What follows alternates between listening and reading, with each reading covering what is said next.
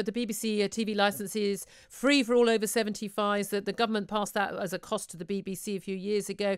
They BBC now say it's going to be means tested from the 1st of August. Should it be? No, no, uh, course not. You know, we we we all know how we've experienced the the shutdown. You know, the the lockdown and how difficult it's been for us all. For some elderly and vulnerable people up and down this country, that is their life, and TV can be a complete lifeline. We gave the BBC a very very healthy settlement uh, back in 2015. They agreed it was a strong and fair settlement, and they really, uh, you know, this is very very disappointing news. So, should they be cutting other things rather than cutting the uh, the, uh, the availability of that free TV license? I think they should be looking at other efficiency savings that can be made because you know this is this is a lifeline for so many people. Okay, thank you very much indeed. They're now saying, "Oh, we haven't got the money, we can't possibly do it. We're going to have to means test it." That's been a a big um, issue. More than three million households of over seventy fives could now be hit by the one hundred and fifty seven pound fifty fee, um, uh, and they're going to start means testing it from the first of August.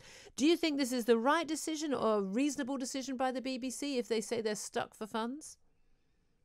Uh, yes, I do. I'm afraid that on this, I think the BBC is right and the government is wrong. But I'll tell you why. Because it's really as a matter of principle. Leave aside the detail. I do think the BBC has taken the right decision. Uh, George Osborne had to find 12 billion pounds of welfare savings in 2015, which seems like a drop in the ocean compared to where we are now and he worked out that one way he could reach his target was to take the free TV license, which was a welfare benefit like pensions, like universal credit, a welfare benefit funded by government, and force the BBC to fund it. We mitigated that a bit for the BBC. We increased the license fee. We took off some uh, funding that the BBC was already uh, having to do, like broad, rural broadband, but it's still a major financial impact. But he did it with the explicit promise that at the end of the period when the government was funding it, which is this year, the BBC would have a free hand. It could have abolished free TV licenses completely. It could have kept the policy exactly as it is today, where everyone over 75 gets a free TV license. But I think they thought it through very carefully and came up with a compromise. And I'm surprised. I could see in the run up to an election, politicians trying to have their cake and eat it and saying, even though we've imposed this on the BBC, isn't this a terrible thing? I think with four years to go and a massive majority, uh, the government and ministers should just say this is a matter for the BBC. Let them get on with it. And weirdly, it would probably help the government because everyone would blame the BBC. But well, but, moment, it, but it is, but it is the BBC's decision. I have to say, I do find it really bizarre that my parents in their late seventies, uh, with uh, with money in the bank, should get a free TV license, and then there's someone who's you know unemployed in their twenties who has to pay for it. I think it's quite bizarre. Exactly, and that's why I think the BBC has been right to try and target this benefit. I mean, we might be in a similar position. I've got a mother who's over 75. She has a lodger who's wonderful, and I'm no criticism of her lodger at all, but the lodger lives in a house with a free TV license, even though she's in her 30s. And uh, there are plenty of households like that where, quite understandably, families are caring for elderly relatives. They get the benefit, perhaps, perhaps they deserve it. But the trouble with any benefit, as you know, Julie, is the minute you hand it out, it takes about three weeks before people assume that this has been uh, the case since Moses came down from the mountain.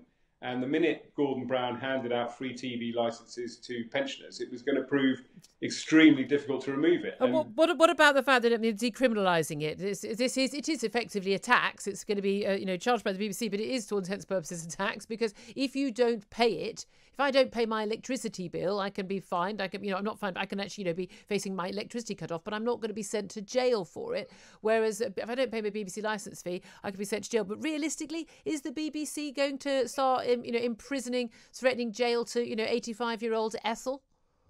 Well, I, I sincerely hope not. I'm feeling, I'm feeling worried for 85 year old Ethel now at the moment. Now you may be worried about, it. but I mean, but if you're John over 75 and you don't pay your John, license fee, you're not going to go to jail, are you? John Whittingdale is the minister for the BBC, and he was the minister for the BBC when all of this was discussed, decriminalisation, and, and he decided uh, it wasn't right to decriminalise the licence fee. There are some differences, but it has, I I accept it's become a sort of totemic issue. Uh, people who are opposed to the license fee in principle, who think in the 21st century it's absurd that we should all effectively pay a poll tax to watch television, see decriminalisation as uh, something that is sort of totemic and, and they would like to see it decriminalised. I mean, we went through it. I personally don't lose sleep either way. If the government decided to decriminalise it, I'm not sure the BBC's predictions of catastrophe would come true. Uh, so if that is what it takes, as it were, to give Tory backbenchers, I'll put it that way, who are sceptical about the BBC a victory, then I would have I would be personally relaxed if the government uh, did that. Do you think that people on the sort of incomes you've been on should uh, get a free TV license giveaway from the BBC or indeed the state or whoever? No, I, I think it's absolutely right that it should be means tested. I think one of the big scandals of the last decade, and I you know played a part in it, uh, is the, all the pensioner benefits that, that have continued unabated. I mean, most people in this country took a big cut in their incomes after the financial crisis. They're going to be hit again. But, you know, my pension and other uh, pensioner benefits have been largely untouched. And I think we're going to have to be quite hard headed about that. Uh, so I see no problem with means testing. I think it would be outrageous for me to be given, uh, you know, a free license. Uh, I mean, there are things uh, which make kind of wider sense. I mean, the, the free freedom passes to get around on public transport are worth keeping because you need to keep elderly people mobile. Um, but I think in general, um, the older generation have got to play our part, and I include myself in that. Okay, um, I mean, do, do you think actually um, that there is a very, very strong argument for it being means tested, but uh, taking away the aspect of the criminalisation, you know, criminalisation of it? So if you don't pay your license fee, if you choose not to pay you may get, you know, uh, BBC might be you sending you nasty letters, and you may, I don't know, cut off your TV signal. Is that even possible? I don't know. Um, but you won't face going to jail because the prospect of the BBC taking on a an eighty year old, uh, old vulnerable old lady living alone, uh, but who just has just that too much income, and he wouldn't be earning. You could only be earning like sort of having eight thousand pounds a year, I think, and still not be eligible for uh, um, getting uh, the pension credit, and therefore having to pay a license fee, and taking her to court and putting her behind bars. That's not going to go down well, is it? Well, I'd be amazed if anybody's currently going to prison because they haven't paid their television license. But it would, no, I, you're quite right. It would be completely counterproductive and unnecessary. Okay. But you've got to have some sanction. I mean, you know, if people don't pay, then there's got to be some fine or. Should there? But uh, that's but that's the question. Should there be a sanction for people to you know you have to basically have a it's basically a tax for having a television. If it's a tax, yep. then the government should should be you know it should just be there automatically. But you know, there's no sanction if I don't pay my Netflix account. I just can't get Netflix. Yes, but as you say, it's a, it is essentially a form of taxation, and we don't normally regard taxation as purely voluntary. Uh, so there, there, has to be something behind it. But I agree, packing off uh, a lot of old uh, older people to prison is just beyond comprehension and is, is not a sensible thing to do. There seems to be sort of quite a sort of knee-jerk reaction to this. It's outrageous. Old people shouldn't be forced to pay for the license fee, and I have to say I don't think anyone should be forced to pay for the license fee. That's my issue. But it does seem to me the idea that, and I've mentioned this on the show uh, my parents who are very, you know, very, very well uh, off for, for pensioners, why should they in their late 70s be getting a free license fee worth £157.50 when someone who's unemployed in their 20s isn't getting it? It does seem quite bizarre. Shouldn't it be means tested? Well, I think that means testing the license fee for the over 75s is a very good idea. I agree with you entirely. My mother, for example, who's an avid BBC listener and viewer, can well afford to pay the license fee and doesn't understand why she's been given it for nothing when she'd be more than happy to pay for it.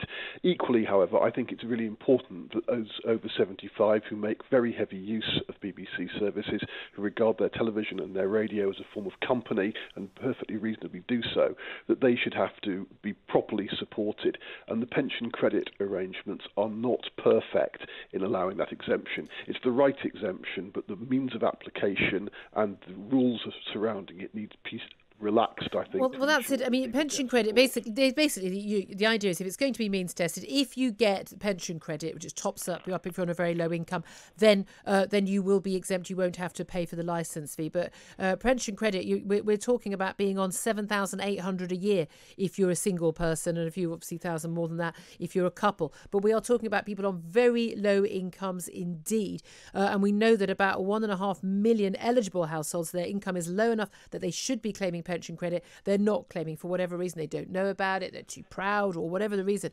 The big concern will be that not only the 1.5 million who, who really can't afford it uh, are, are going to have to pay for the license fee, uh, but also that there'll be many uh, older people who are on incomes just above uh, that threshold um, who, who really are struggling and choosing whether they put the you know the, the heating on in the winter because they're worried about their their income, uh, who who are going to struggle to pay for this license fee. And the key thing here is that you can be taken to court if you don't pay your license fee, and you could be fined. And if you don't pay your fine, ultimately you can be jailed. But realistically, the BBC isn't going to go around jailing or even fining, you know, 80 year olds on low incomes who aren't paying their licence fee, are they? That would be the death knell of the BBC. Well, I think you strike on a very important point. This is going to be a very unpopular decision politically. I understand precisely why the BBC has done it. It's got to make an extra £125 million of saving this year or cut services. It recognises that it is under enormous pressure because, after all, the licence fee was originally subsidised by taxpayers, by the government from 2000. It was only very recently that the government decided that it was going to impose that charge on the BBC licence fee. And the BBC, although it consented to that, has always resented it. But I think that there's an underlying challenge here. And it's something I say as a passionate supporter of the BBC who really believes in it as a great British institution. The BBC's warned that if it didn't do this, it would have to close services. I think the BBC has got to face the reality that if it is going to save the license fee, if it's going to preserve its status as a national institution, it does actually have to make that hard choice close a few services. No, but it's not a it's not a hard choice though, Tim. I mean, I'm sorry. I, have been into enough radio studios and TV studios around the country uh, to know perfectly well how overstaffed the BBC is. I mean, I don't want anyone. Oh, the BBC. This is a red herring. Julie. No, it's no, no, no, no, no, no, no. There are so many services they run. Well, no, they there never are... decide they never decide to simply not do something. And the right choice for the BBC is not to reduce the resources available to its excellent programme. Why not? why, why do they need to, why do they need five Julia, times as many you, people working on a show as as, Julia, as an independent broadcaster? To me rather than talking yourself. No, I'm really I'm asking you a question, Tim. I'll do whatever well, I want. Thank you very much. question. It's my show. I'm asking you a question. If you don't want to answer it, it's fine. We'll end it. You, I'm suggesting to you that you're not understanding the point. The point is this the BBC should staff its programmes well, but it should Why? reduce the number of channels. No, it no, runs, no, no, that- it should reduce the number of services. No, offers. I understand. I, I, I- I understand what you're saying. I'm disagreeing with you. I'm telling you to staff a show well, you don't have to staff it at BBC levels. You will, if you go into sort of Sky News, ITV News, BBC News, you will see the BBC has huge numbers more staff, and I've got a lot of producers who've worked at the BBC. They do approximately a quarter of the work that staff are doing in independent broadcasters. There's a reason why they're overstaffed because they, they don't accept that the normal working practices in the rest of the world. They could cut a huge number of staff, still produce exactly the same output, and none of us would be any the wiser, and they'd make those savings. If I'd asked a question that long when I was presenting. Oh, I'm to bored now. Let's get it. No, oh, Tim, it's just boring now. Honestly, I, I don't. I, I'm I'm I'm asking you questions. If you don't want to answer them, that's fine. But I mean, I, the idea that you're the only person who, who has an opinion or has any knowledge about the BBC is quite absurd. Uh, Tim Luckhurst, uh, who apparently is a principal at South College, Durham University. They don't like it when you criticise the BBC, do you? Do they? They really don't like it. Just big thanks, by the way, to my last guest, Tim Luckhurst, who said to my producer, "Do you know what Ofcom is? Yes, it's the people you can go make a complaint to if you're unhappy with your interview. So do feel free to make that complaint, Tim Luckhurst. Just a top tip: when an inter- when an interviewer disagrees with you, it doesn't mean they don't understand. It means they're disagreeing with you, and uh, best not to uh, tell presenters their shows uh, what uh, how to do their job because um, I'm not paid for uh, by BBC licence fee payers. If people want to listen to my show, they can listen to my show and enjoy my show DAB plus online and like, and they're not paid. They're not forced to pay for a licence fee to do that, and they're also not forced to face going to jail if they don't pay that licence fee. So yeah, you know what? I'll speak as freely as I want. Thanks ever so much.